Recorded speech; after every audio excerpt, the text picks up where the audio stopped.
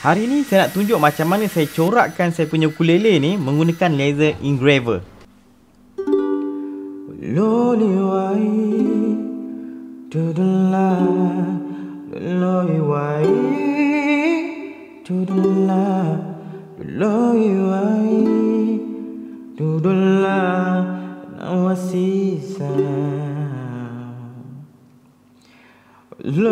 wai Dudula Nawasisa Loli wai.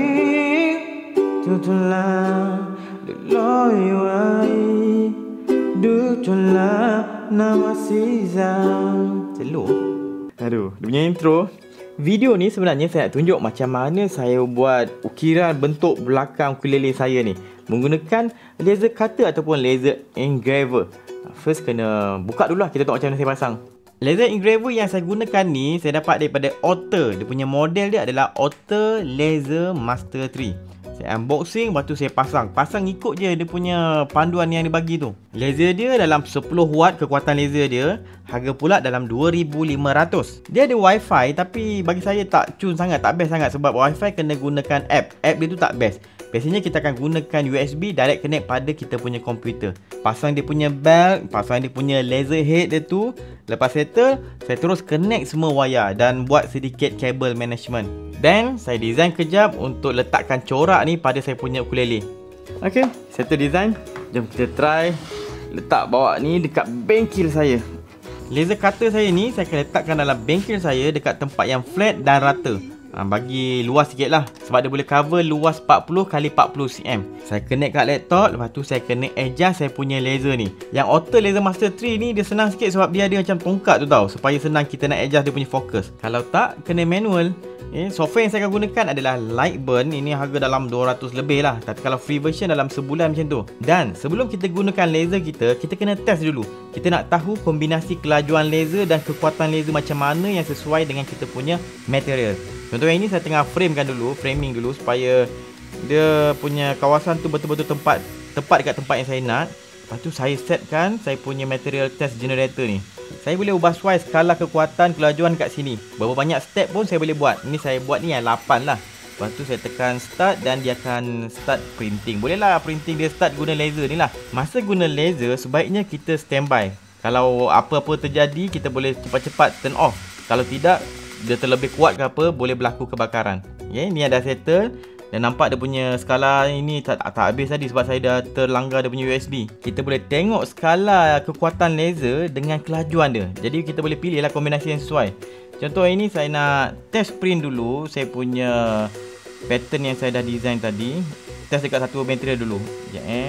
Saya framekan dulu. Muat tak? Ni saya buat yang kecil dulu. Sebab nak tengok je dia punya efek cantik tak. Okey, untuk dia punya speed dan power kekuatan dia tu kan saya nak pakai berbanyak, saya refer balik yang uh, test generator yang saya buat tadi ni. Saya nak print dengan laju sebab ini boleh sampai 20,000 mm per minit. Jadi saya nak pakai rasa dalam tanah lah laju sangat. Saya pakai 16,000 ni kot. 16,000 dan kekuatan dia kat area sini macam okey kot tak ada. Macam okey kat ni. Saya nak pakai berapa persen eh? Dalam 43% punya kekuatan laser kita masukkan kat sini. 16,000 kekuatan maksimum maksudnya tempat yang paling gelap sebab ni mode engraving jadi paling gelap tu akan gunakan dalam 42 43 macam tu. Kita try. Yeah, cantik. Nice. Tengok result dia.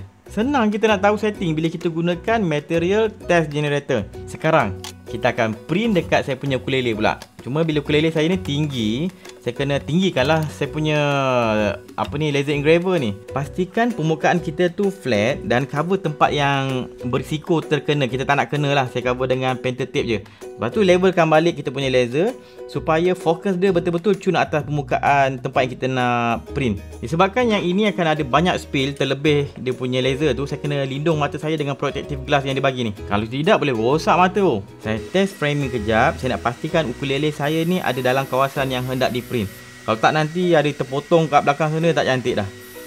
Okay nampak? Okay semuanya dekat luar kawasan. Lepas tu kita start print. Tapi nak dijadikan cerita Saya terlanggar pula USB saya tu Sampai dah terberhenti dia punya printing. Dah separuh je. Aduh. Jadi untuk saya settlekan masalah ni Saya kena print semula uh, tempat yang sama. Ni kalau print dia guna dalam 16 watt macam tu, tak sampai 20 watt. Tapi itulah saya kena print semula akan berdouble lah. Jadi untuk tak nak bagi dia berbelang, saya akan buat beberapa round sampai saya punya atas dan bawah tu color dia seragam lebih kurang. Kalau nak buat beberapa round macam ni, pastikan kita jangan sentuh objek yang kita nak laser tu. Kalau dia teralih sikit memang akan lari lah. Memang dah buruk lah apa yang kita buat tu. Finally, ini result dia. Gelap sikit lah. Saya nak buat light je tapi sebab terpaksa buat beberapa pass jadi gelap sikit je ni balon. Tengok depan sikit. Hmm, boleh lah. Okay lah. So itulah dia macam mana saya gunakan laser engraver. Saya letak kat saya punya bengkel lah sebab kalau saya buat dekat dalam studio saya ni memang kuat bau dia. Ha, asap memang penuh. Saya dah try masa record video ni saya ada test sikit kat depan tu tapi asap dia penuh sangat lah. Saya letak kat bengkel saya. Sebelum sambung, Yayasan Ikhlas sekarang ada projek bina sistem air bersih untuk kawasan pedalaman. Sebenarnya, ada lagi orang Malaysia yang tak ada akses air bersih. Jadi, saya nak ajak korang untuk join Yayasan Ikhlas ni. Bagi sumbangan sikit untuk support supaya kita boleh bantu orang pedalaman yang tak ada akses air bersih ni. Saya akan letakkan link dekat description. Jom sambung.